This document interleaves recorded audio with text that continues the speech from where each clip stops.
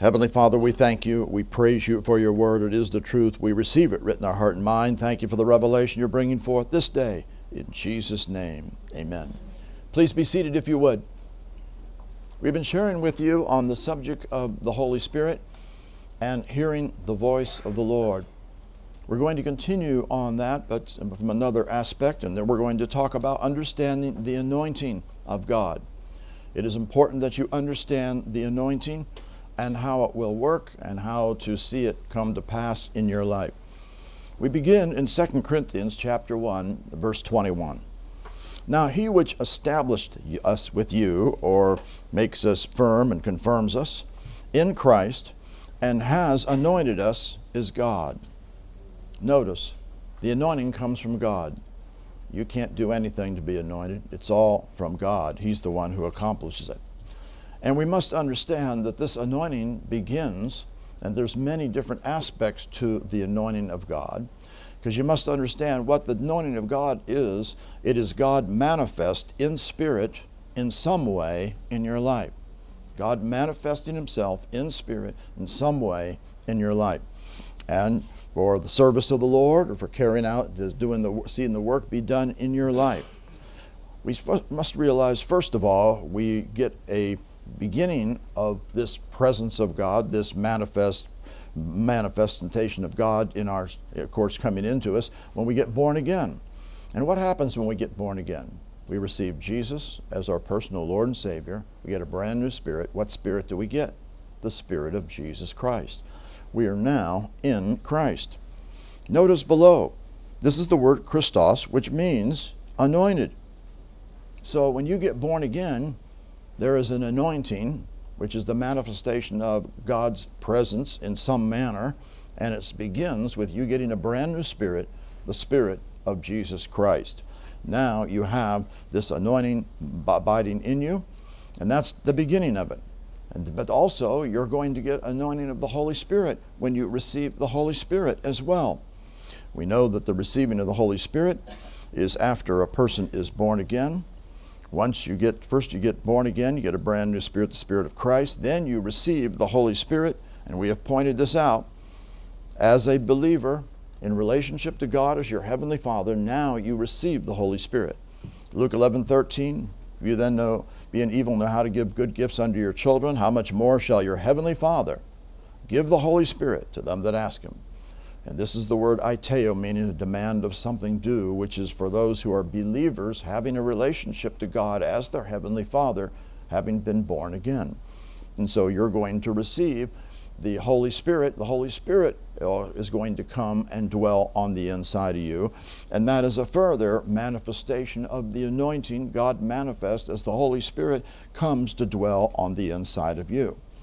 Now, as we look at this, we're going to look in depth about this subject of the anointing, as it's important for you to understand the anointing of God in your life, how it will work, and what it will accomplish. Genesis chapter 31, we begin here in verse 13. Here is the first place where we see about this word anointed you, the first use of it. He says, I am the God of Bethel where thou anointest the pillar, and where thou vowest a vow unto me. Now arise, get thee up out of the, from the land, and return to the land of, my, of the kindred, of thy kindred. Now, this is what he spoke here. It says, I'm the God of Bethel. Bethel means house of God. So, what's that speaking of? Well, what's the house of God? The house of God, you and I are the house of God individually, and corporately, it's the church who are born again believers in Jesus Christ. And that's where he anoints this pillar. And when we talk about what this pillar is, what is this pillar pointing towards? Well, we know from the New Testament over in 1 Timothy chapter 3, verse 15, what it's pointing towards. If I said, said, If I tarry long, thou mayest know how thou oughtest behave yourself in the house of God. So that's the house of God, which is the church, remember which is the church of the living God, the pillar and the ground or the support of the truth. So, this pillar that it's speaking of is also speaking of the truth that, comes forth in the church, the pillar and the ground of the church, of the truth, which is going to come from the place where it's going to be preached. The church is to be preaching the Word of God accurately, boldly. It's got to be in line with, the, of course, the Word. It's got to be correct, no error whatsoever. We go back here to chapter 31, verse 13. So he said, Anoint the pillar. It means the place where this word's going to go forth is the anointed place. You know, some people have spoken against having a church as such. No, God's the one who set the church. He's the one that set this as the place where the word is to go forth.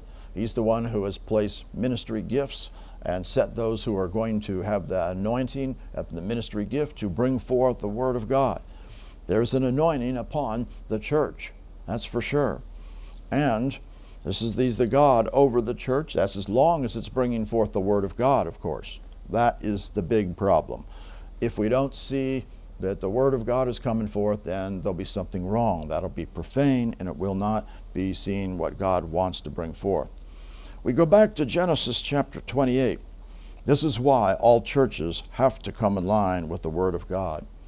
You know, there's many people out there that don't go to church because they haven't been hearing the Word of God. And when they do go, they find it's an entertainment center or they find it's just social club or whatever, and they're not seeing it be what God had called it to be. It is to be the pillar and the ground of the truth and bring forth the Word. That's the anointing will be there if it's doing that. We see in Genesis 28 18, Jacob rose up early in the morning, took the stone and the stone would be pointing towards who is the cornerstone? It's Jesus. That he had put for his pillows and set up for a pillar and poured oil upon the top of it. So Jesus is the stone, he's the cornerstone. You and I are living stones in the church. Here it's set up as a here, this pillar. And notice the oil, this is the word shemen, which is the word for uh, referring to the uh, oil, um, the anointing oil. This is the anointing of God that we be poured on that particular pillar, which is pointing towards the church. And then he goes on and says he called the name of that place Bethel, the house of God. So again, this is the place where we see the anointing of God that is upon the church, that is bringing forth the truth. Verse 22 This stone which I have set for a pillar, shall be God's house. And of all that thou shalt give me, I will surely give the tenth unto thee. What does that tell you? That the tenth that belongs to, to God, that remember of what he's given unto us, the tenth is his. This is the tithe, is to be given unto him in the church.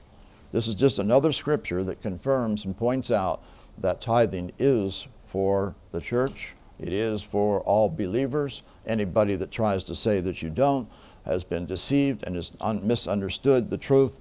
The fact is that the tithe belongs to God. It is to be brought to the house of God for the ministry that is going to go forth. Then we see in chapter 35, verse 14. Jacob set up a pillar in the place where he talked with him, even a pillar of stone. He poured a drink offering thereon, and he poured oil thereon. Oil would be this anointing, and the drink offering is drink offering always speaks of that which is being poured forth in service. So, what this is speaking of is that this pillar, this place which is the church, is to not only have the anointing upon it, but it is to be the place where it's going to be pouring out in the service of the Lord to bring forth everything that God wants. See people get saved, see them get healed, see them get delivered, reach reach out to people with the gospel to preach the gospel to see people come to the place of receiving Jesus and coming in line with the word of God. Also, you have to understand that this work is going to be done in you as well through the word of God, through the anointing that is coming forth from the word that is being taught, that you would come to the place of becoming a pillar as well in this temple. Revelation 3:12 him that overcometh, that's the one who conquers and carries off the victory. You're to conquer and carry off the victory continually. Will I make a pillar in the temple? And this isn't talking about a building. This is the naos, which is talking about the sanctuary. And that's talking about the ones who are the, making the sanctuary uh, where God comes to dwell, which are the believers.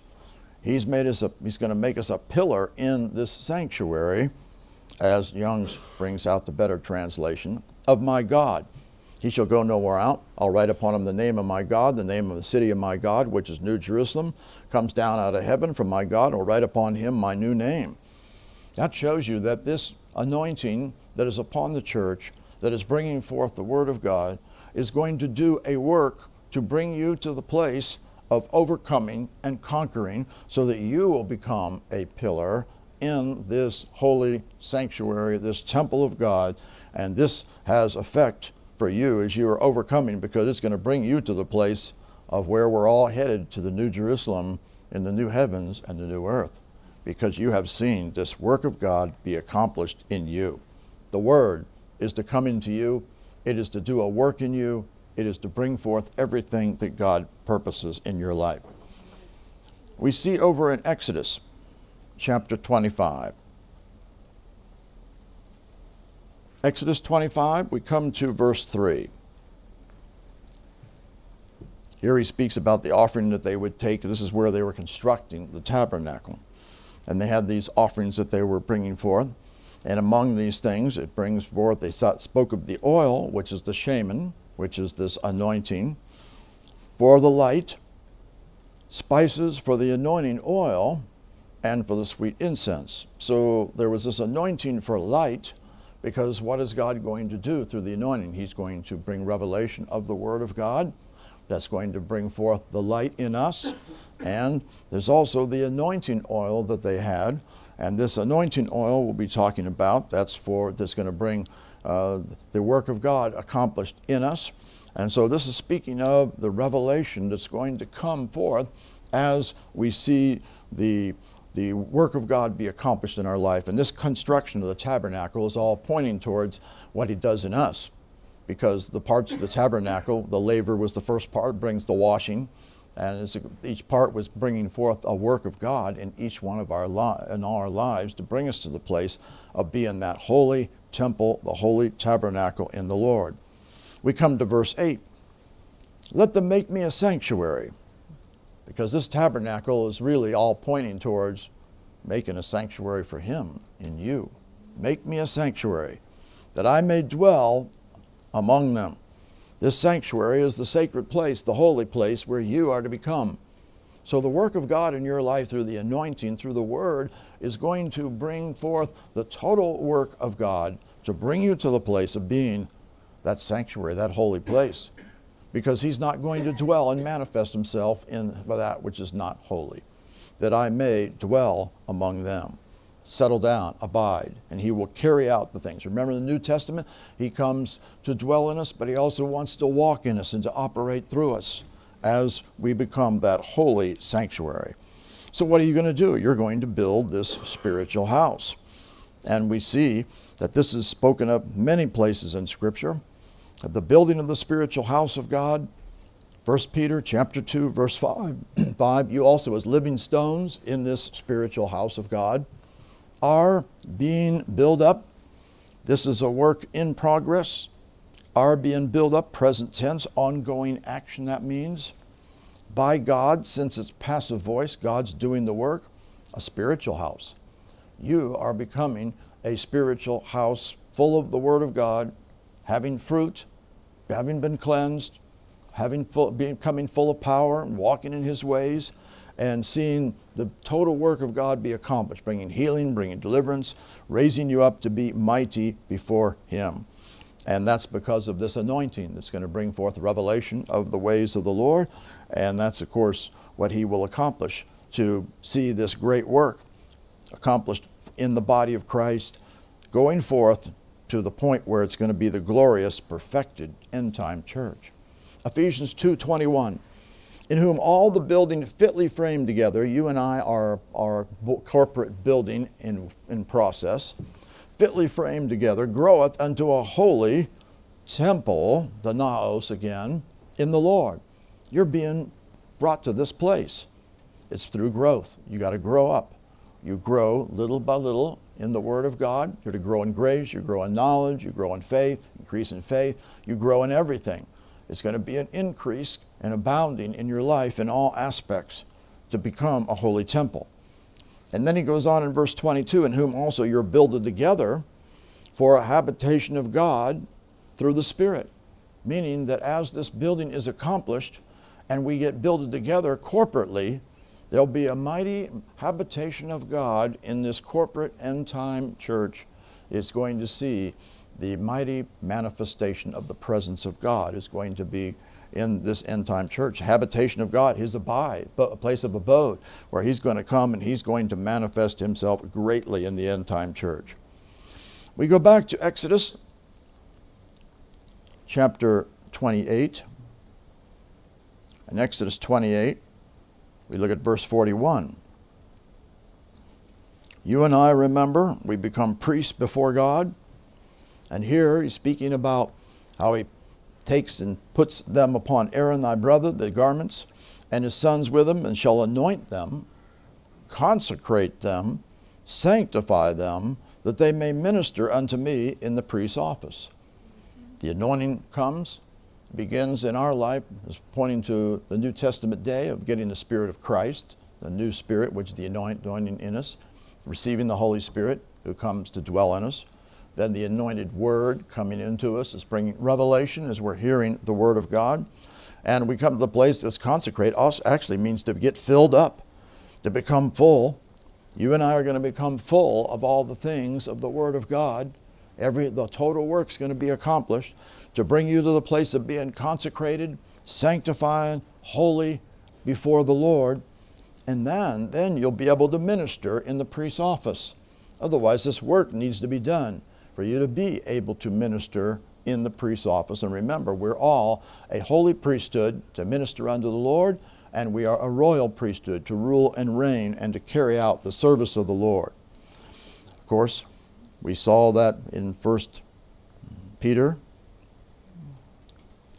chapter 2 verse 5 where it spoke of the fact that we are a holy priesthood. We are being built up a spiritual house, a holy priesthood, offering up spiritual sacrifices acceptable to God by Jesus Christ.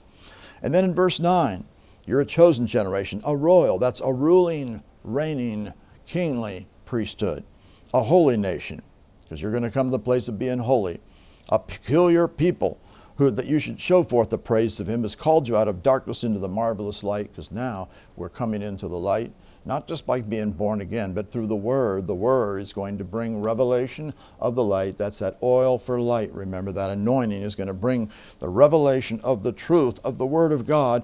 The anointing is at work to bring that forth by the Holy Spirit who comes to dwell in you. Now we go back to Exodus chapter 29 this time.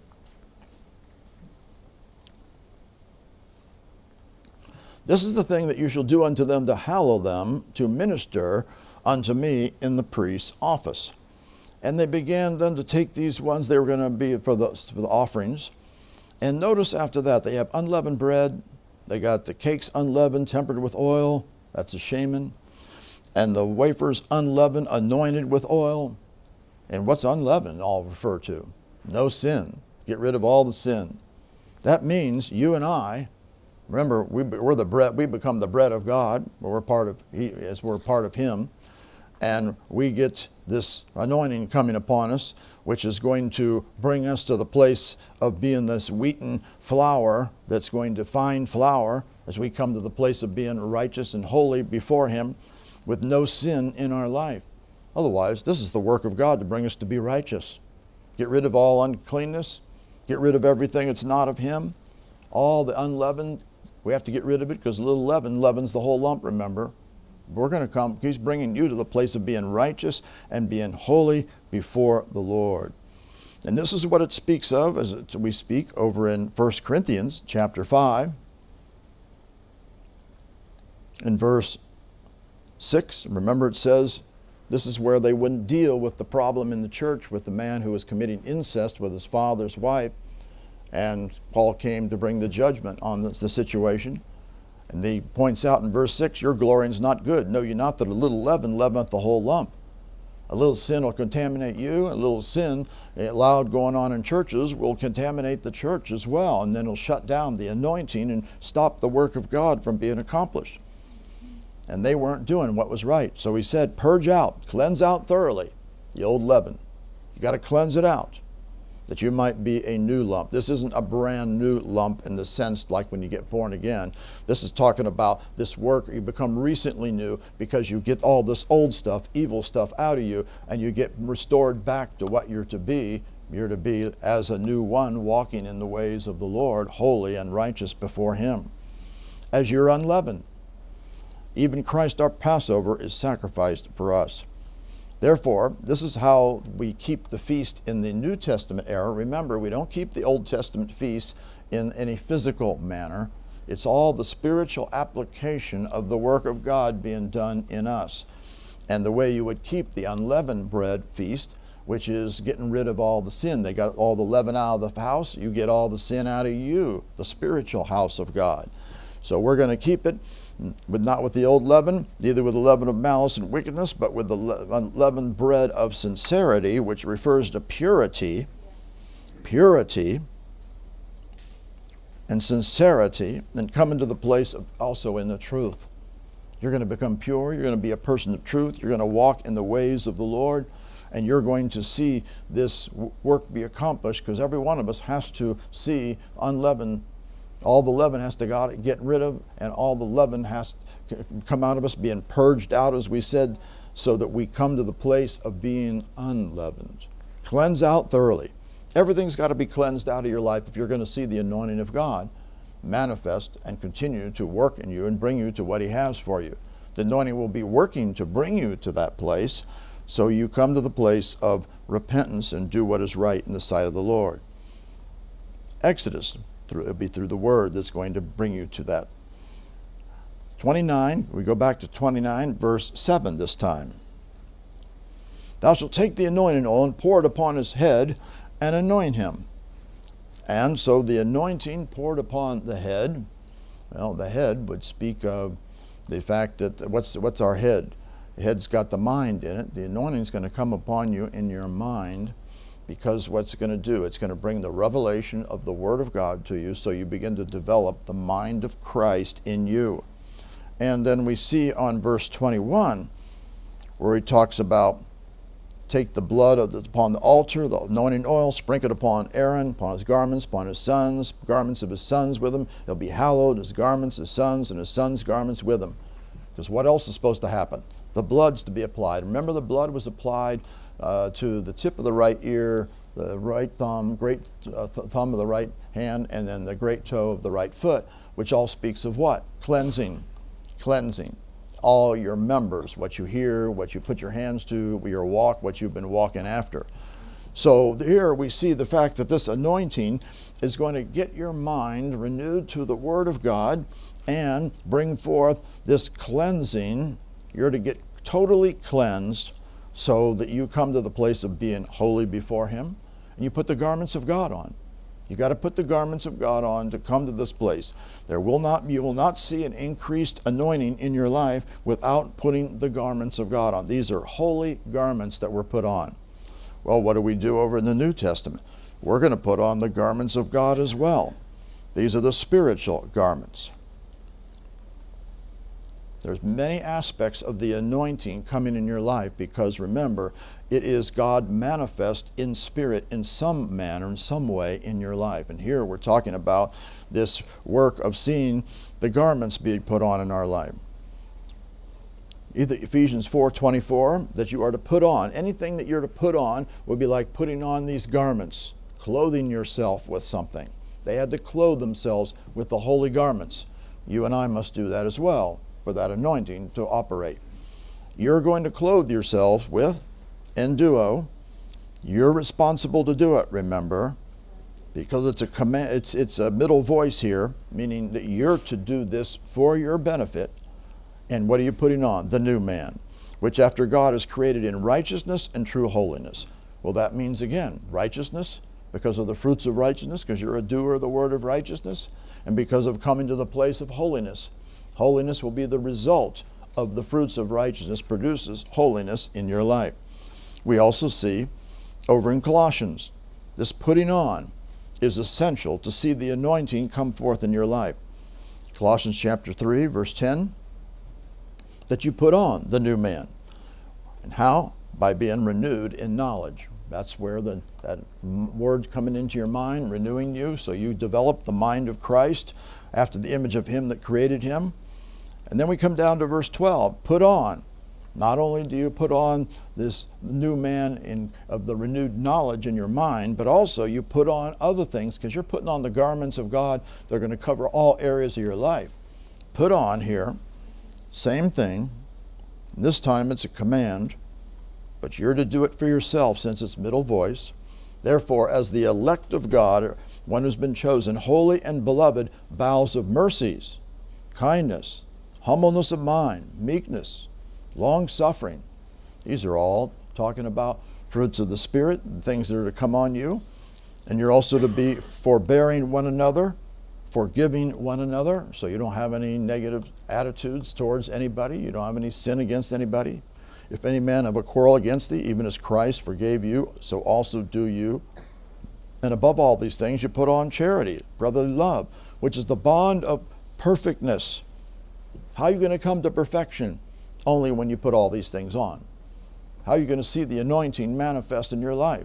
It's only when you come to, by putting all these things on. It's going to bring you and I to perfection for the great anointing that's going to come upon this end time church that walks in his ways. What else do we put on? You're going to put on the armor of God. Ephesians chapter 6, verse 11 put on. That's to clothe yourself. Again, a command. Your responsibility to do it, since it's a middle voice, you do it for your benefit. You clothe yourself with the whole armor of God which is the Word in you in all aspects. The Word in your heart, the Word in your mind, the Word directing your steps, the Word that you're going to be thinking upon and using to speak against the enemies, to quench the fiery darts of the wicked one. You're going to use to smite the enemies. The Word in ap- application in all areas of your life. That you may be able to stand against the wiles of the devil. You will be able to stand against all his attacks as you put all these things on. It is absolutely essential. You also are going to be putting on here, having on, it says, this means enduo again, putting on the breastplate of righteousness. Again, it all comes to be righteous. Only those who are righteous will be able to be right with God and anointed. You have a new spirit, righteous spirit, but you put on this breastplate of righteousness through the word in your heart that produces the fruits of righteousness as you hear and do the word, so that you will be righteous before the Lord. And also, as you're putting on these garments, the reason why it's going to bring the manifestation of the anointing is because you are essentially doing what this says, kind of a summation of it all. Romans 13, 14, put on the Lord Jesus Christ. You're becoming like Him. You got all the things with the Word in you, it produces the fruit. You got the Word in you, it produces the power of God. You got the word in you that's that's clothing you with the, the mind of Christ, getting a brand new you know, mind renewed in truth, all the different fruit that it spoke of. You're putting on all these things. You're putting on for yourself. And this also, by the way, this is a command to you and me. You're, you and I are commanded, we're responsible to do it, middle voice, put on the Lord Jesus Christ. This is the Word of God put on, like garments being put on you that you become like him. And you make not provision or forethought for the flesh to fulfill the lust thereof. It is mandatory, remember, that you crucify the flesh daily, you put off the deeds of the body, you mortify the deeds of the body. You cannot be giving place to the flesh and think that you're going to see the anointing of God. It's not going to work whatsoever. We must turn away from all that is not of Him. We also see over in another place this is also important because remember, where are we headed to? We saw that, we're, that when we become the pillar, remember, where are we going to be a pillar in? It's going to be in the New Jerusalem, isn't it? It's going to be the end result because we've conquered it, overcome. Well, that's, exa- that's what this is pointing towards as well. Matthew 22 11, this is the wedding. And that speaks of the wedding with the Lord, the wedding supper. Who's going to be in, who's going to be able to be there? The king came in to see the guests. He saw there a man which had not on a wedding garment. He hadn't clothed himself with the wedding garment. What a mistake. He's supposed to do it for himself, But it was supposed to have already been done at this point because you and I are supposed to do it now and keep it on. The reason is because that's a perfect tense, which means completed action in the past with present results at the time of speaking, meaning from this standpoint, the king's coming in to see this guy who thinks he's coming to the wedding, and he's supposed to have already put this on, this wedding garment of righteousness and holiness, and seen this total work of putting on the Lord Jesus Christ in his life. It's supposed to have already been on and been continuing on as his lifestyle. He didn't have it on. He's in trouble. Is that person going to be in the New Jerusalem and this wedding and come through all these things? No. He said, he didn't say friend, he said comrade, is what this word means. Comrade. He's just speaking to him as a person. How camest thou in thither, hither, not having a wedding garment? He was speechless. What'd they do with him? Bind him hand and foot, take him away, and cast him into outer darkness. They'll be weeping and gnashing of teeth. That's because he didn't do what he was supposed to do. This means this anointing has come into your life not just for good things to happen whenever I want to see something happen. No, it's to do the total work of God in your life. And you must let it happen. You're commanded to do all these things, see? That's why it says many are called, but only few are chosen. The ones who put on all these things, the ones who deal properly with the reason why this anointing has come to you to accomplish the great work of God in your life. Those are the ones that are going to be chosen. And that means we can't be have any defilement because when we come down to looking at the judgment on the church in Revelation chapter 3, 2 and 3, remember, here's the one at Sardis. Verse 4, he says, Thou hast a few names in Sardis which have not defiled their garments. They shall walk with me in white, for they're worthy. You can't have defiled garments and think you're going to make it. and you're not gonna, it's not going to happen. You've got to be holy before the Lord. Defiled garments got to be eliminated. And even in the time when the judgments are coming forth, in Revelation 16, verse 15, it speaks, when Jesus is coming, look what he says. Behold, I come as a thief. That means suddenly. And then he's talking about who is going to, who is going to be there that he's going to be caught up to meet him in the air that he's coming for. Blessed is he that's been watching and keeping his garments. Otherwise, he makes sure he has the garments of God on. He's staying righteous and holy. Lest he walk naked, well, that means he's not clothed. If you walk naked, that means you don't have the garments of God on, which means you're going to be walking in the flesh or walking in sin, or you're not walking with the mind of Christ. You're not, not walking the fruit of the Spirit. You're not walking in righteousness and holiness whatsoever. And what would happen? They see a shame. Who's they? They're the bad guys that are going to be used of the devil to try to bring destruction against all those who are not going to be protected. And you won't be protected if you, they're seeing your shame because you're naked. In other words, you must be watching and you must be keeping and guarding your garments at all times to maintain being righteous, holy, having the Lord Jesus Christ on, so that then you will be chosen because you responded to the call of God. That's how important this is. And we must not let anything get a hold of us. Yet. this is why you got to get rid of all the works of the flesh. You need to come to the place of hating the any works of the flesh to get upon you. Jude 23 others. This is what we reach out for others to save with fear, the fear of the Lord, pulling them out of the fire, hating even the garment spotted by the flesh. Remember, he's coming back for a church without spot, without wrinkle. If you're spotted by the flesh, you're contaminated. You need to hate any spots, wrinkles, anything that's not of God. You need to root it out of your life. We should hate that. And you're spotted by what? By the flesh. Any work of the flesh. This is why we must not yield to anything that is of the flesh. So the anointing is going to be accomplished through the Word in you, putting on the holy garments of God, that will result in you being filled up with the things of God, consecrated, ready for the service of the Lord, fulfilling and completing all the things that God purposes for you in your life. We just go back to Exodus 29 now. was progressively seeing the work of the anointing. Verse 36. Here he says, Thou shalt offer every day a bullock for a sin offering for atonement. Thou shalt cleanse the altar when thou hast made an atonement for it, and thou shalt anoint it and sanctify it. Talking about the altar. Well, the altar is the place where they would offer up their sacrifices. Do we offer up sacrifices today? Yes, we do. Not physical sacrifice, but spiritual sacrifices.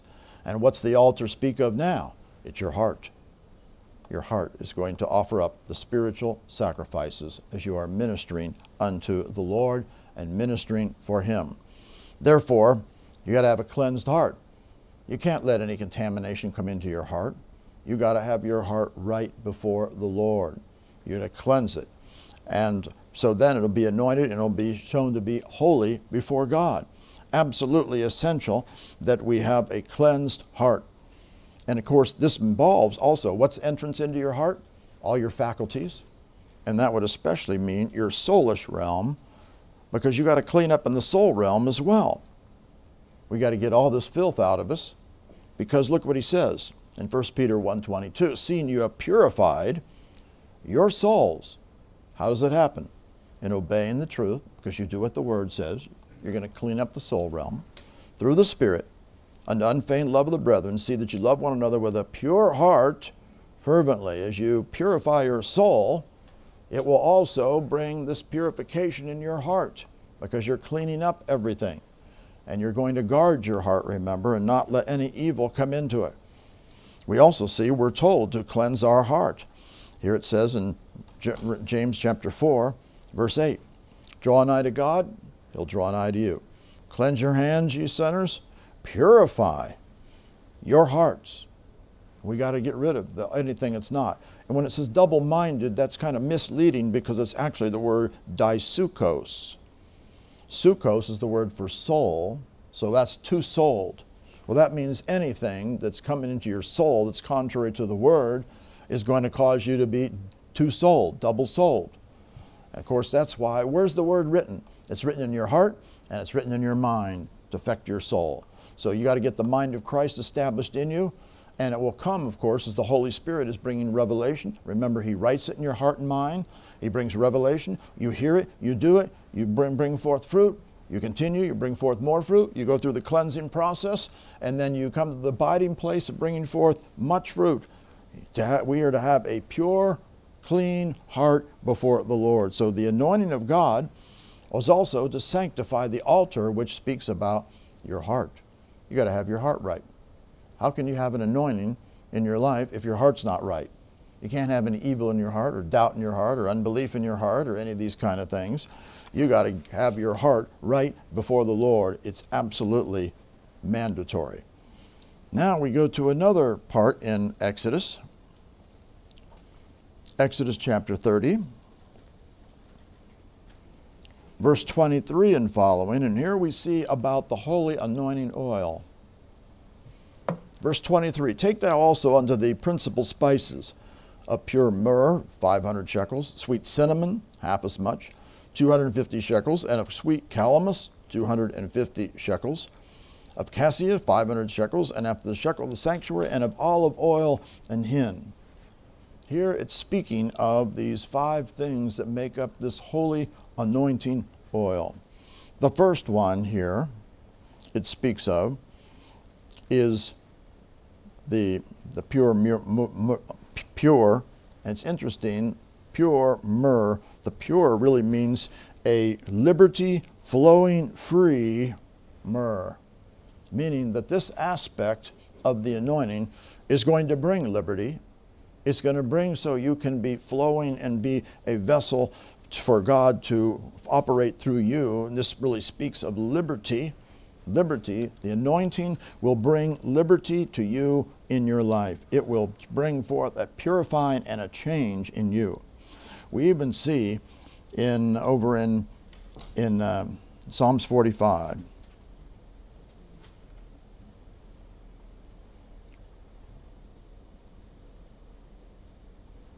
Verse 8 all thy garments. And this is all pointing towards Jesus because it's talking about his throne, the scepter of his kingdom. This is all what speaks of in Hebrews 1 8 and 9 when it talks about when he's enthroned in his kingdom. It's all pointing towards that. Loves righteousness, hates wickedness. He's anointed with thee because the oil of gladness above thy fellows. By the way, in order to see this anointing of the oil of gladness, you got to love righteousness and hate wickedness. You should hate anything that's wicked. Otherwise, that'll stop. That'll stop the anointing of gladness, the oil of gladness upon you. All thy garments, everything. They smelled of myrrh and aloes and cassia out of the ivory places where they made thee glad. That speaks of these are garments then that are put on, because the garments of God are going to bring the fragrance of the Lord in your life, the manifestation of that anointing. And that's this, as garments will smell of the myrrh, as it's pointing out.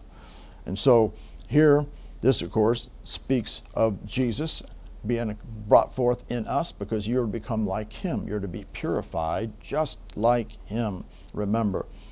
In fact, we've seen that before some time back, John chapter 3, where it says, Now where the sons of God does not yet appear what he shall be, but we know that when he shall appear we'll be like him. Why? Because the work's been done in you. For we shall see him as he is. Every man that has this hope in him to be like him purifies himself. Otherwise, you have to purify yourself to be like him. You're not going to be like him if you have all the sin in your life and not walking in the ways of the Lord. So we're going to come to the place of being purified. And we even see this referring to this myrrh points out this was used about in purification in Esther chapter 2 in verse 12 for those ones who were all the women that were going to present themselves before the king to see who he'd select to be the queen. Esther 2:12 every maid's turn was come to come to go into King Ahasuerus who the 12 months according to the manner of the women they were the days of their purifications accomplished. That is 6 months with the oil of myrrh. It was to bring purification. That shows you that this is speaking of the purification of God being accomplished in your life to bring you to the place of being one who is pure and holy, so that then you can have liberty to see God be operating in your life. These, of course, these are the garments, the garments that are on Jesus. And remember, this myrrh was one of the things that was presented unto Jesus one of the gifts that was presented to him in Matthew chapter 2, verse 11. When they came into the house, they saw the young child with Mary, his mother, fell down, worshiped him, opened their treasures. They presented him gifts gold, frankincense, and myrrh. That was for that anointing, see? The anointing that was going to come. Myrrh is one of the gifts, and this is to be the same thing as to be on the garments of us, having the holy garments of a king. So these are the, this is what was given to the king. This is what's to be in you. So you and I are a king as well. We are to be becoming kings. So this really speaks of the purifying work being accomplished for liberty and to bring you to the place of being as a king because you got the garments of God on. You got the holy garments that are going to be on you. We go back over to Exodus. The anointing all these point towards a work being done, see, in your life, or being a work being done through you. So this is the myrrh. The second one was the sweet cinnamon.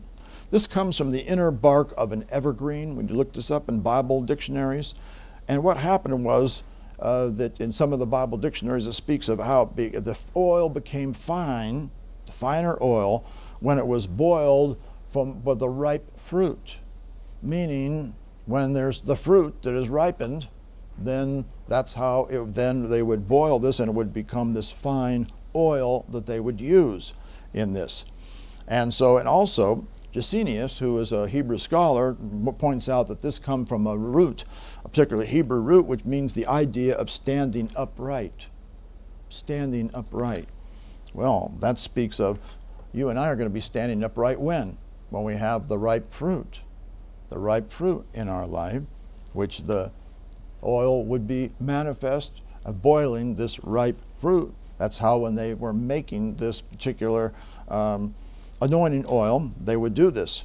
So, this again, now this speaks of being upright and being fruitful. As you're upright and you're fruitful, the anointing will be there because the work of God has been done in your life. You're being changed into His image. You're being walking His ways. You're bringing forth fruit in your life.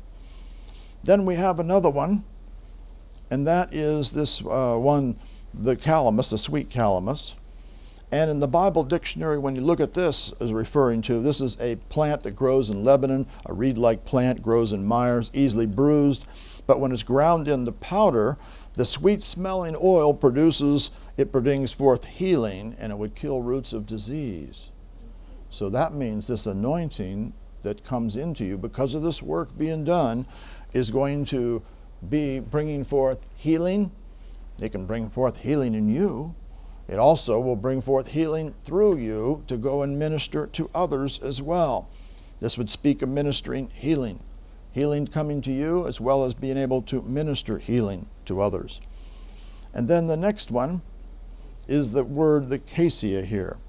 And this was powdered bark like cinnamon. It was used in scenting garments. And it's interesting that this word comes from a word here which means to bow down, which means what? Worship. So, what is this speaking of? This is all pointing towards those who worship God. That's also going to be another part of how the anointing comes forth, because all these things are showing you how the anointing comes forth. The purifying of the myrrh, the becoming upright and being fruitful of the cinnamon. We see of the in the, the calamus is the healing that is going to come. And then we see in the cassia here the worship, one who's a worshiper. People that won't praise and worship God, are they going to have an anointing in their life? No. You need to minister unto Him, so then He will minister back unto you. Worship will bring a manifestation of the anointing in your life. And that is what, of course, God wants to see, as we even see an example of where it brought the anointing that brought revelation of what they were supposed to do in Acts chapter 13. When they were seeking what they were supposed to do, they ministered to the Lord, praising and worshiping Him, and fasted. Because they did that, then they're going to now hear the, anointing of the Holy Spirit manifest, and the Holy Spirit said, Separate me, Barnabas and Saul, for the work whereunto I've called them worship and praise and worship, oftentimes will, God will speak to you in the midst of that, or having done that, to give you a revelation of what He wants you to do because you've ministered unto Him. And that's what happened in this case. So this speaks of praise and worship as well. And then we go back to Exodus chapter 30. These, all these ingredients speak of point towards the things that you and I are to do to see the anointing manifest in our life. And then there was the oil, this is the shemen, oil, olive, and hin. So this again, this is the oil, and what was the purpose for the oil? The oil was for light, as we saw, which is illumination, revelation he's going to bring forth. We even see in Exodus 27, verse 20, it's pointing towards this. You command the children of Israel that they bring the pure olive oil beaten here, or grounded up, pounded here, for the light to cause the lamp to burn always. And otherwise, when they took this olive oil and they put it in the lamp, it would bring the light because it's going to bring the anointing. And what's going to happen when you get the light in you? It's going to burn always. Remember that they had the thing burning continually? What's that pointing towards? Do you just want to just have some light stand, you know, in your house burning always and think that that's the fulfillment of it? No, that's all the Old Testament stuff. It's all pointing towards the realities. Who's the lamp? You and I are. The light is to come into us and it's to be burning and light always. The light's to be burning in you always, is what this is speaking of because of the anointing that brings revelation. The light comes into you, the light of the knowledge of the Word of God, and it's going to cause you to be burning always, to be lightened always. And that's what God wants for every single one of us. And that's what the anointing will do. Now, you can shut down the anointing in your life as well by disobedience. Here we see this in Deuteronomy 28, verse 40. This is in the midst of when it, the first 14 verses are the blessings coming on you if you hearken diligently on the voice of the Lord your God. Verse 15 and following talks about if you don't hearken to the voice of the Lord your God, then all these curses will come on you. And here is one of them. Thou shalt have olive trees throughout all thy coast, but thou shalt not anoint thyself with the oil, that you won't have any anointing, for thine oil, olive oil shall cast her fruit. Otherwise, there'll be no anointing on your life if you are in disobedience, because this is in the midst of all the curses that come because of disobedience. Disobedience will shut down the anointing in your life. We must be obedient. So the anointing oil is, is it's like the fragrance of God coming upon you because you've met all the conditions for Him to operate through you. It's going to flow freely in us as we come to the place of being purified. As we're obedient, we get the word in us, remember? And we have put on these garments. We get, become holy, kingly garments as kings and then it's going to bring forth healing in us and release healing, of course, through us and deliverance at the same time. We're also going to get revelation knowledge through the Word of God that's going to come into us. And we're also going to come, be worshipers of God. As we minister to Him, He's going to minister back unto us. This is why offering the sacrifice of praise continually, the fruit of your lips is, is essential in your life. You need to be praising Him and worshiping continually people that won't enter into praise and worship, they're not going to see any anointing operate in their life whatsoever. This will shut it down if you don't walk in obedience to Him. We go back to Exodus 30,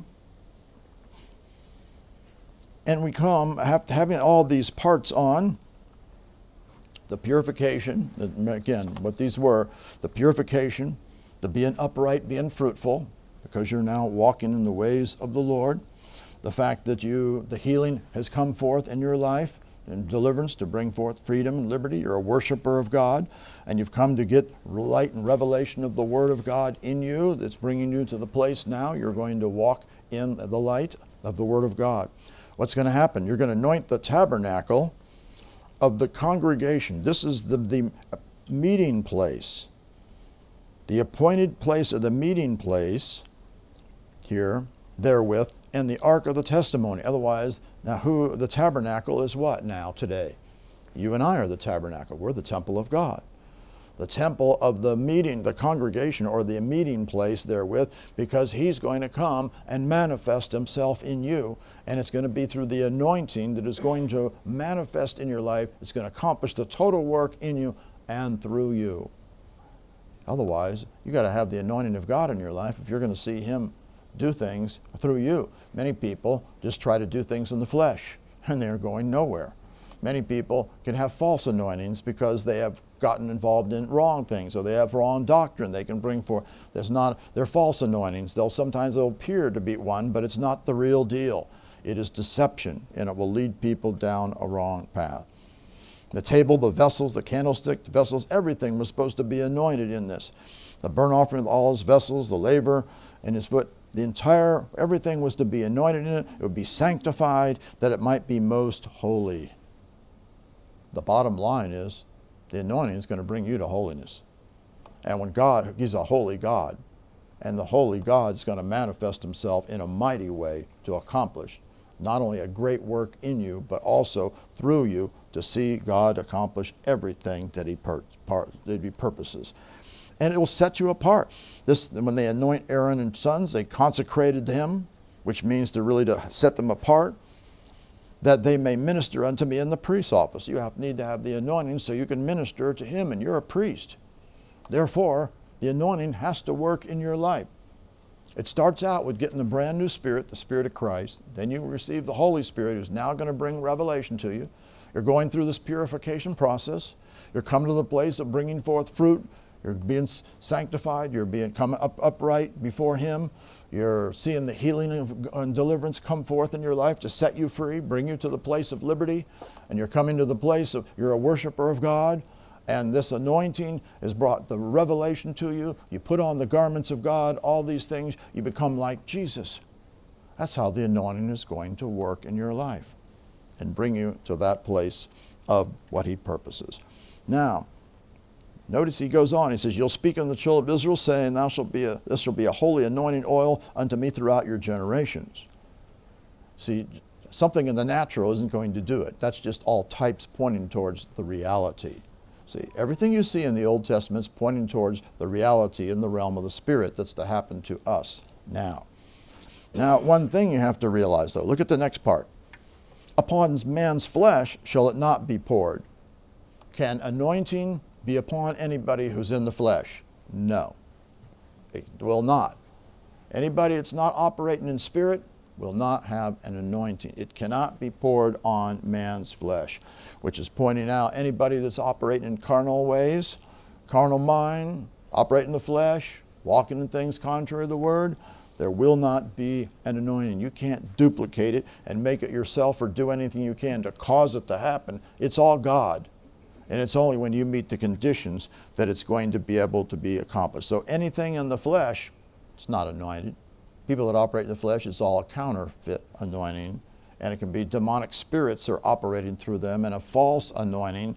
Been false anointings on people out there that have deceived people. It's not been God whatsoever. Of course, it's always got to be in line with the Word of God.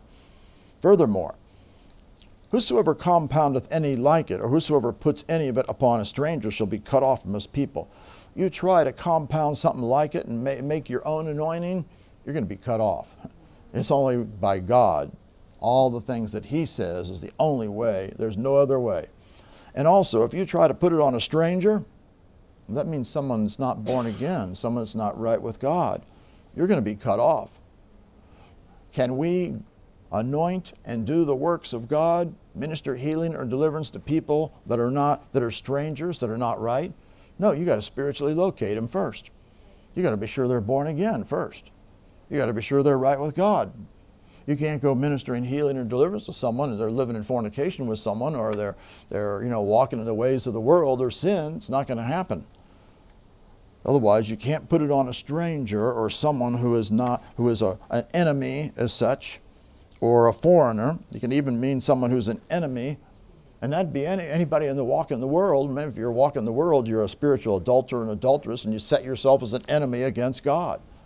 In other words, the anointing is only for those who are right with God. Those are the only ones that are to be ministered unto. So that means we don't cast out demons and minister healing to people out there that are not right with God. It's a covenant right that belongs to them, and you just don't give the anointing. That's the same reason why you just don't, don't just don't bless anybody. You know, you don't bless someone that's that's not walking in the way, let's say they're, they're in, walking in some false religion and stuff, and you're going to say, God bless you to them. See, words release things. You don't do that. We've already talked about that in the past. You don't go blessing things that are not of God. You've got to be right with Him. Or even says you be cut off. It'll bring a judgment, certainly, against people if they will not come to the place of doing what's right. You only minister to people that are right with God met the conditions, see. Exodus 40, verse 9. Thou shalt take the anointing oil, anoint the tabernacle, and all this therein shall hallow it, and all the vessels thereof, it shall be holy. They were constantly talking about this anointing, anointing everything in the tabernacle, anointing everything. Everything of God has to be anointed. What does that speak of? Well, that speaks of everything that you would do that involves not only you, but also involves the church. Everything has to be anointed in line with the Word. That's why we praise and worship God. We bring forth the Word. Would jokes be have an anointing upon them? No. Would opinions have an anointing upon them? No. Would the party spirit, you know, and the feel good and, you know, have a, how about the worldly music coming in? No way. There's no anointing on that. It's a bunch of clamor and noise that's from the, it's bringing devils into it. It's what it does. It brings a false anointing that comes in. And this is in a lot of places, unfortunately, because they're making a great mistake. And also, you know, we anoint the tabernacle. Now, does that mean I run around anointing a building? No. Anointing the building is going to do something. If you anoint the building, but yeah, you're doing all these evil things, is it going to be anointed? No. The tabernacle is who today? The temple, who is us. The anointing's got to be in you. I've seen people run around they want you know, in places they wanted to anoint all these places, you know, and stuff like that. And yet the people aren't walking right themselves. It's, it's not going to do anything. You think something the natural is going to cause the anointing to be there if you haven't met the conditions and you're not walking right? No way. It's all a bunch of carnality. Everything's in the spirit now, remember, in the New Testament. And so what we were supposed to not anoint everything that is of God. That's why they would anoint here the, the altar, and they, which is type of the heart. They would also anoint the laver. The laver was the place where there was all the washing that was going forth, the cleansing. See, this is all the work of God to be done in you and also in the church. That's why what are we doing? We're ministering the word. We're ministering healing and deliverance to bring the cleansing, ministering everything that's going to bring forth what is profitable to someone. Uh, you know, you're not going to bring things that aren't of God whatsoever. So this is all this washing had to. This is the washing with water. They did this. This is all part of what this anointing was for. And they put him on the holy garments, anointed him, sanctified him so he could minister. So first you get the holy garments. The result is you got the anointing, the sanctified work, and then you can minister to the Lord. You can't put the cart before the horse and think that I can go and minister if I don't have the holy garments on. No way. And am I going to be anointed if I don't have the holy garments on? No. Am I going to be sanctified? No. Am I going to be ready and allow for, for God to operate and minister through you? No. It'll just be all in the flesh. Verse 15 Thou shalt anoint them as thou didst anoint their father, that they may minister unto me in the priest's office, for the anointing shall surely be an everlasting priesthood throughout their generations. And you and I now are priests, and we're to operate as priests with the anointing of God. Many people, well, yeah, I'm born again, I've, I've come into the priesthood, but they haven't done what's necessary to see the anointing of God operating in their life for the service of the Lord If you're not got the mind of Christ, if you haven't put on the garments of God, if you're not a praiser and worshiper, if you haven't gone through the cleansing process, if you're not come to the place of, of walking uprightly before the Lord, if you haven't got revelation of the ways of the Lord, if you haven't, you know, purified your heart and your soul, all these things are absolutely necessary to come to the place of being a holy vessel before the Lord. And that includes, remember, our, our body. Remember, this body you have is a body of, of sin what am I supposed to do with my body? You're still, still to present it as a holy vessel. Romans 12:1 I beseech you therefore brethren by the mercies of God you present your bodies a living sacrifice holy acceptable to God. You don't let anything come into your body that's not of God even though sin dwells in it. That's why you mortify the deeds of the body. That's why you got to make sure that you get your mind renewed so that you're choosing to do what God wants. Remember, with the mind, you'll serve the law of God, but with the flesh, you'll serve the law of sin. You cannot walk in the flesh. You can't even have forethought for the flesh. If you're operating in any sin or any, anything of, of the flesh, you're going to be unclean. You're going to be leavened. You're not going to see the anointing of God come forth in your life. It's mandatory. People want to see the anointing of God work, the presence of God, and they wonder why it's not. Well, if we haven't met the conditions, it won't. Or else they have false anointings that have come from false things that they've been involved in. And we see that all over the place. Leviticus 2 4 If thou bring an oblation of a meat offering baked in the oven, it shall be unleavened cakes of fine flour mingled with the oil. Ah, that's that anointing that's worked. Or the unleavened wafers anointed with the oil. Same thing, offering is going to come from vessels without sin and are also going to be anointed of God. Now, verse 3 If the oblation be a meat offering baked in a pan, it shall be a fine flour unleavened, mingled with oil.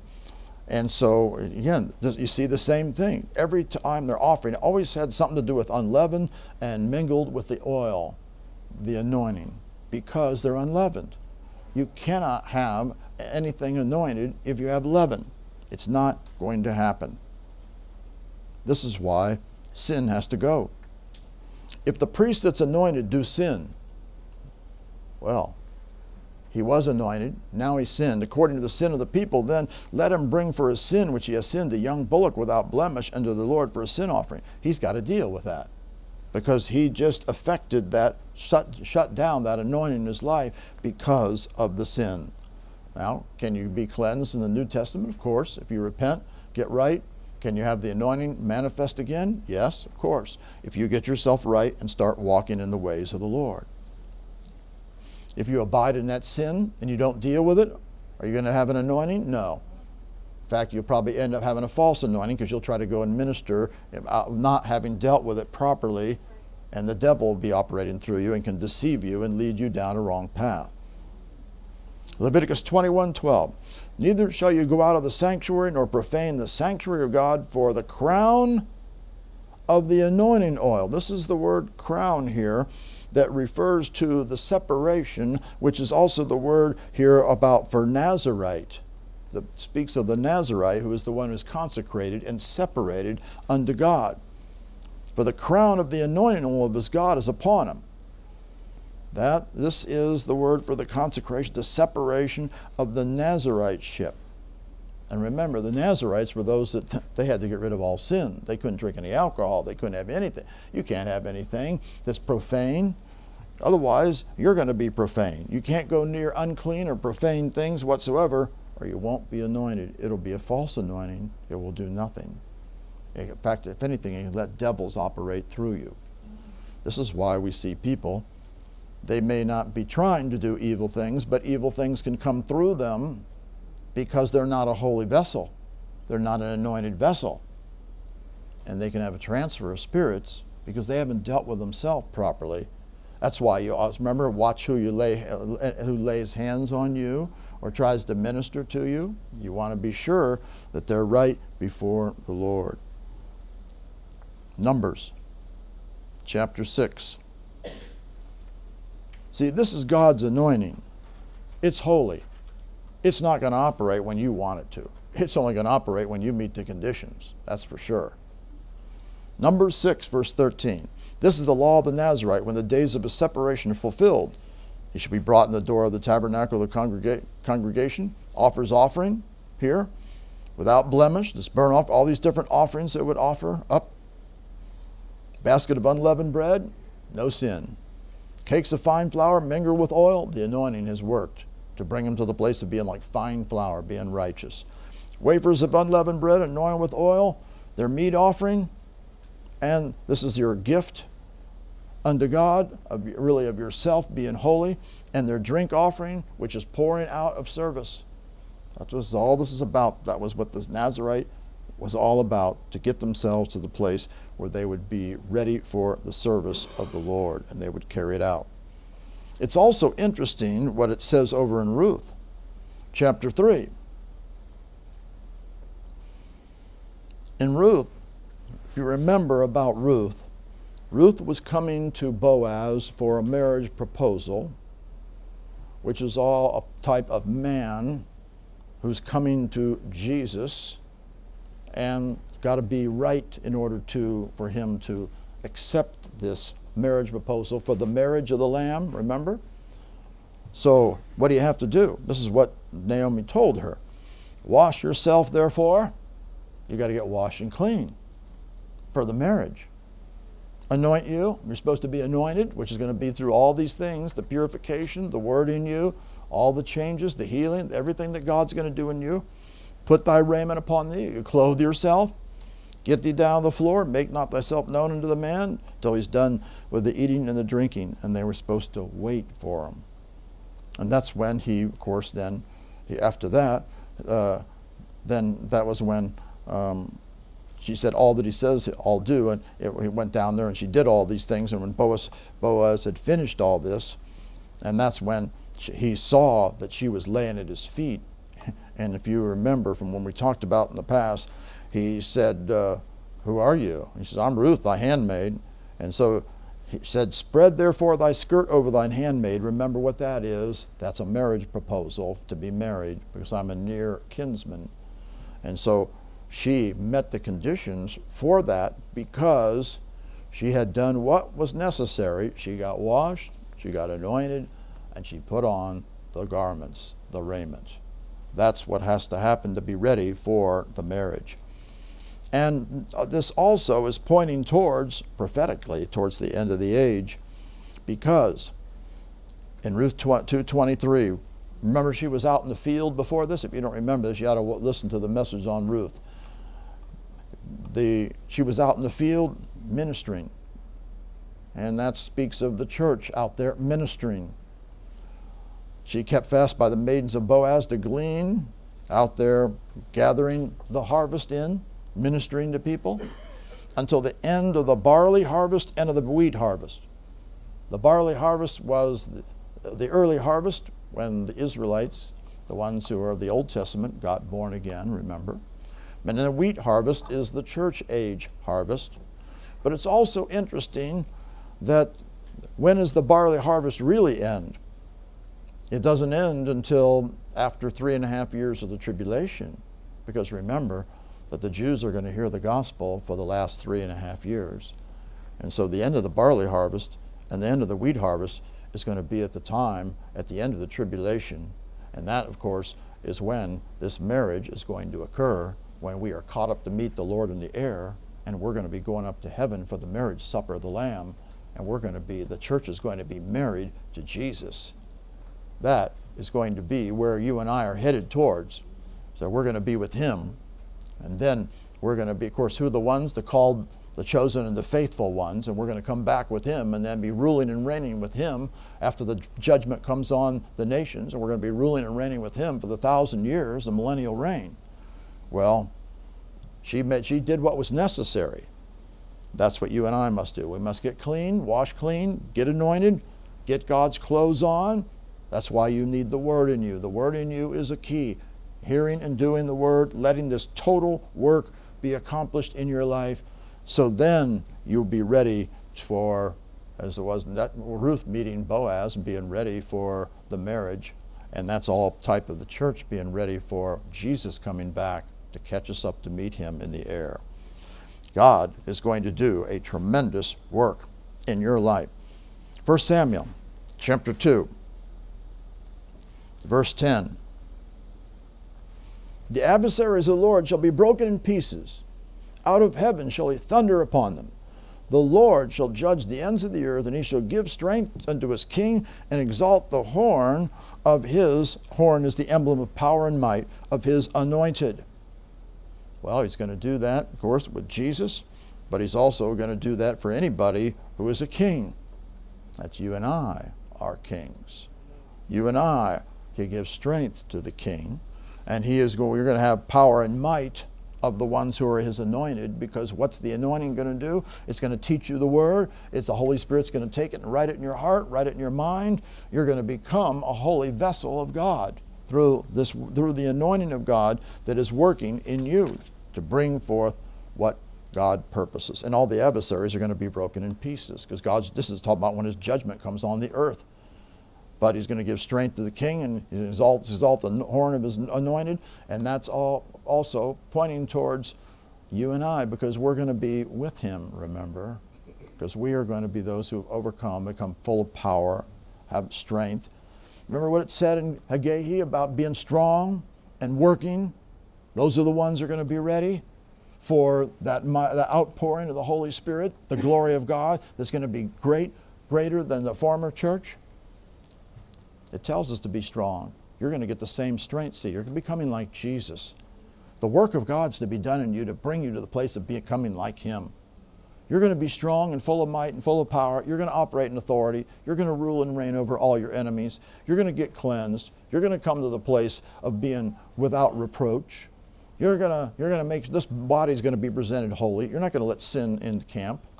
You're not gonna have any kind of evil stuff in you whatsoever. It all has to go. Everything. This anointing is going to come upon you, and it's going to prepare you for all the things that are coming as well, because all these things are going to come. Now, also, a couple more things before we stop for this morning. 1 Samuel well, 2 Samuel, look at 2 Samuel chapter 5, that is. The anointing would come upon those who were a king. 2 Samuel 5 3. So the elders of Israel came to the king to Hebron, and King David made a league with them in Hebron before the Lord, and he anointed David king over Israel. Kings get anointed. You are a king. You are now kings and priests, remember, unto God, and you are, um, the anointing is to be operating on you. And what do, what do they do? What do kings do? They rule and reign. What are you to do? You're to do the same thing. You've now been given authority and you're to rule and reign over all of the enemies. Now, when the anointing's upon you, some people think that, well, I, everything ought to be fine. I shouldn't have any more problems. Not so. David's the king. What happened? Verse 17 When the Philistines heard that they had anointed David king over Israel, oh, we got this anointed king now. All the Philistines came up to seek David, and David heard of it and went down to the hold or the stronghold here. Well, that shows you that the enemies, they came up against him when they heard that the anointing was upon him. Meaning, and why has the anointing come upon you? Because you've met all the conditions. You got born again, you got the Holy Spirit, you're getting the revelation, you're getting the light of the gospel, you're going through the cleansing process, you're putting on the garments of God, you got the fruitfulness that's come in your life, all these things that we've seen. That We got the word, you're putting the word first place, you got that light in you, you're walking uprightly, you come to the place of being upright before Him.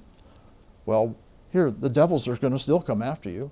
When they see the anointing, they're going to try to come after you and try to bring destruction against you. Well, should that ever happen? No. We're going to conquer everything that comes. What happened? They came and spread themselves against them. David inquired of the Lord, saying, Shall I go up to the Philistines? Will you deliver in my hand?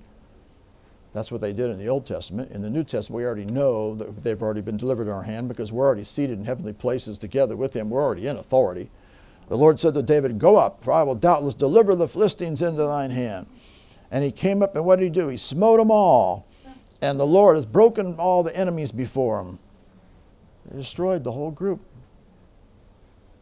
You're a king. If you have gone through what's necessary to see the anointing of God manifest in your life, you conquer everything that comes at you. And don't think they won't come at you, they will come after you. The devils will test you, the devils will try you, the devils will try to come at you. You're an enemy, you're marked. But you have authority and dominion. You can conquer everything. David smote them and destroyed them. Well, oh, okay, I got rid of them once, everything now should be fine. No.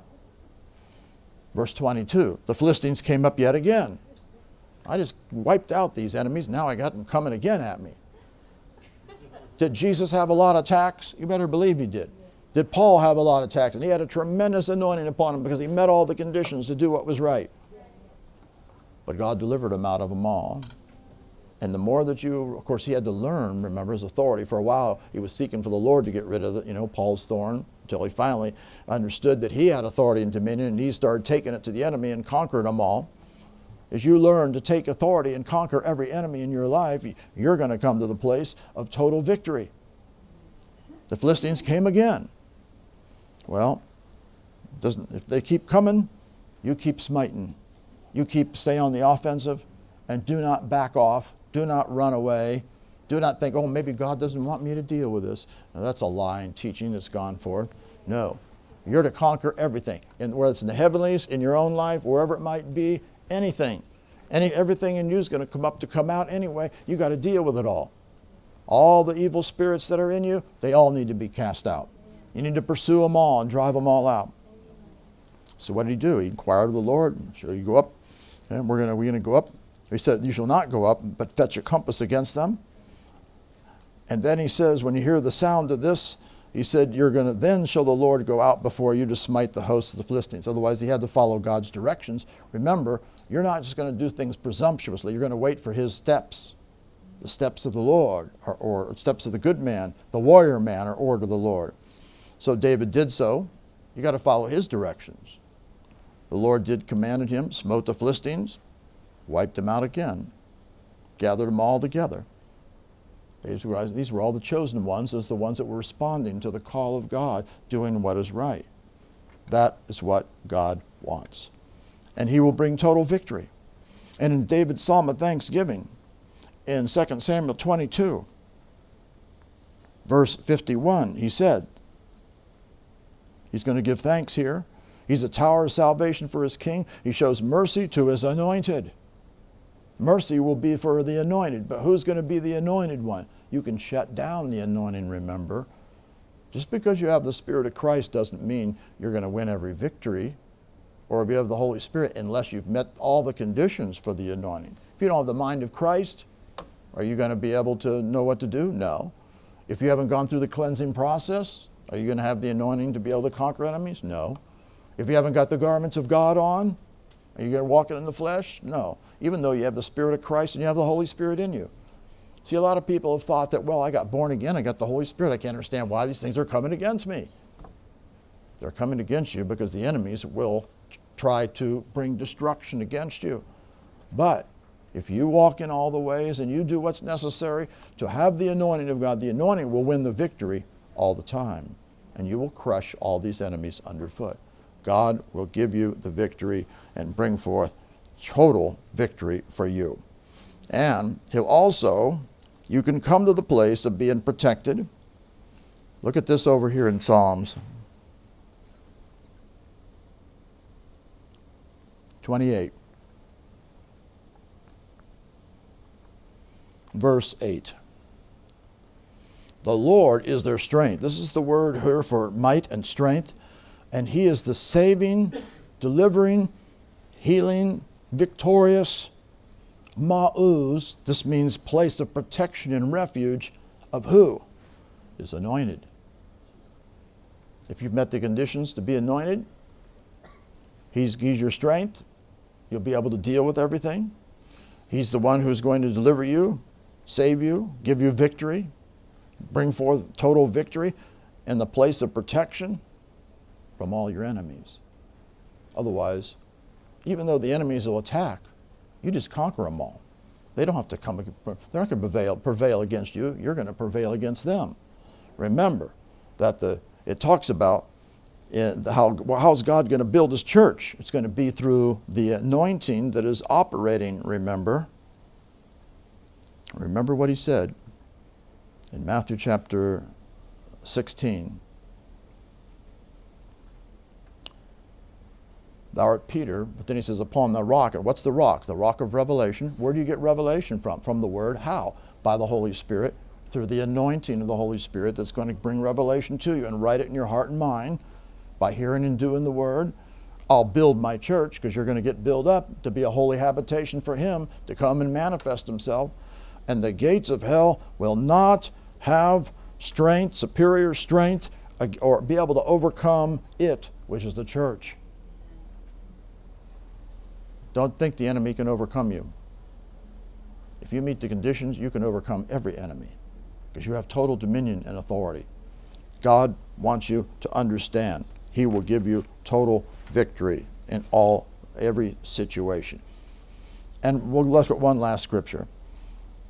This, this oil is to be, because you're in the Word and you're walking in it, it's to be fresh, continually operating in you. Not just like you had at one moment and where to go, you know. No, it's to be abiding in you, this, the anointing and functioning in you continually. Look what he says in Psalms 92:10. But my horn shall be exalt like the horn of a unicorn. I shall be anointed with fresh oil. Fresh oil. Well, we talk about fresh. This is a, a fresh oil. This anointing that's going to be upon me. It's going to be fresh oil, flourishing oil, something that's that's that's operating in me, fresh or green, luxuriant, in the sense that it's it's operating continually in your life. That's what he wants. He says, My eye will see, also see my desire and my enemies. Because the anointing is going to destroy every enemy. Mine ears shall hear my desire, the wicked that rise up against me. The righteous shall flourish like a palm tree, and he's going to grow like a cedar in Lebanon, because you're the, met, meeting the conditions of being righteous. Those planted in the house of the Lord will flourish in the courts of our God. That's because you have built the spiritual house, see? and you'll be bringing forth fruit in old age. They'll be fat and flourishing.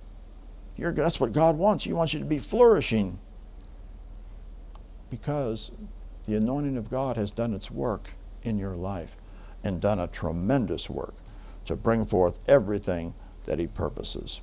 And God will do a great work in you. But you got to meet all the conditions. If you meet all the conditions, He'll accomplish this total work in your life. I said that was the last one, but we do have to look at one more because you got to realize the anointing will break every yoke of bondage, every yoke of bondage. There's nothing that it won't break because it's the manifestation of the presence of God.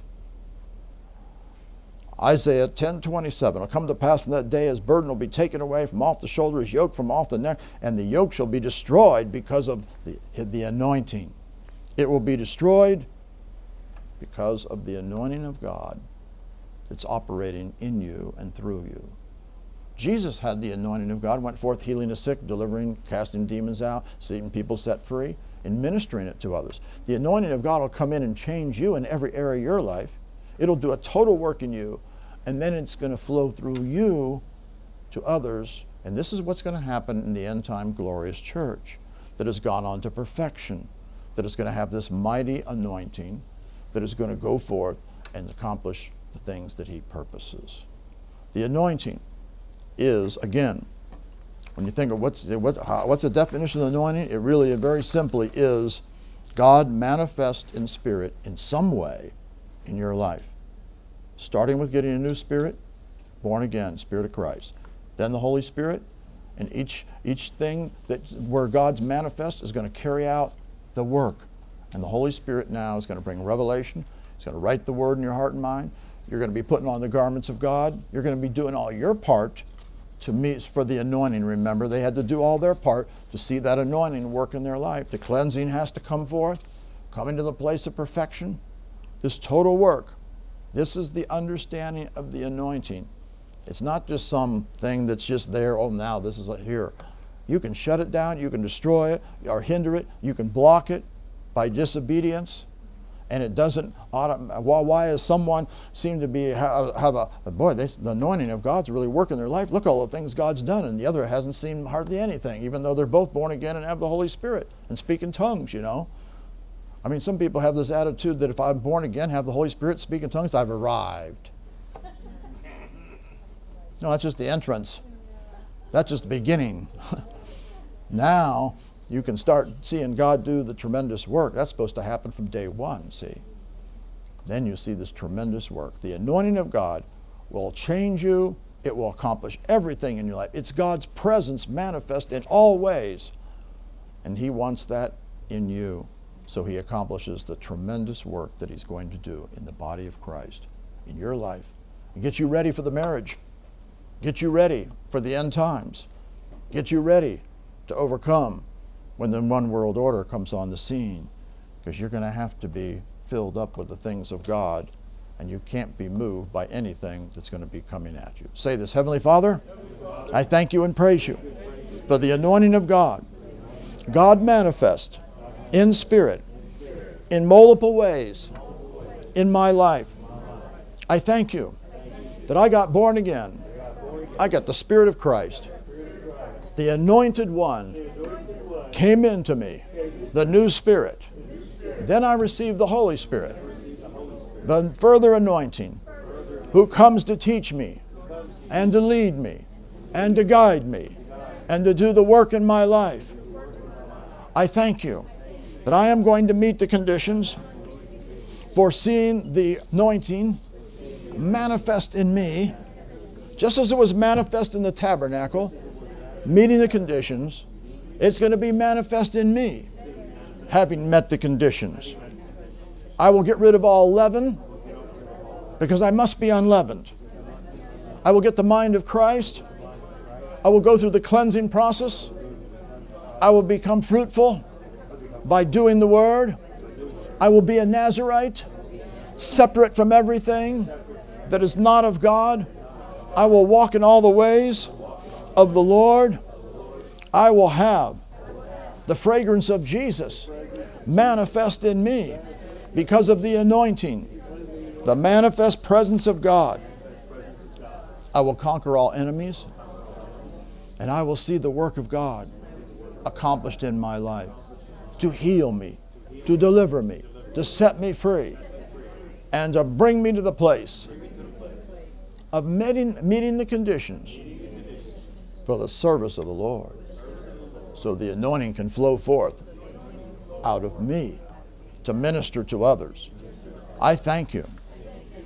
I am going to do what's necessary to see the anointing, the manifest presence of God operate in my life in spirit to accomplish the total work that I'm going on to perfection and the glory of God, the manifest presence, is going to come into my life and I'm going to see God bring me to perfection and be a vessel for Him to flow through in these last days to see people won to the Lord.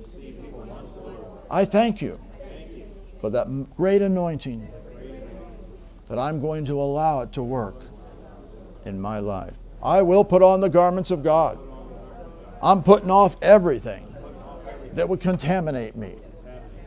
The anointing, God's presence manifest in me, will have its way to accomplish everything in my life because I'm a hearer and a doer of the word.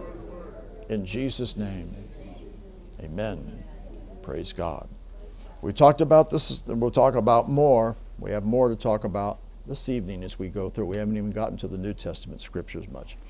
Father, we thank you for all that you brought forth. Thank you for everyone understanding the anointing and seeing what, what was going on in the Old Testament, when all what was necessary for the anointing and what was being anointed, and how it relates to us today, how this work is to be accomplished in spirit within us. We thank you. It is being done. It will be accomplished. Thank you for us all hearing and doing the word so we see the total work of this anointing in our life and through us for the service of the Lord. Thank you for all that you're accomplishing. In Jesus' name, amen. Praise God.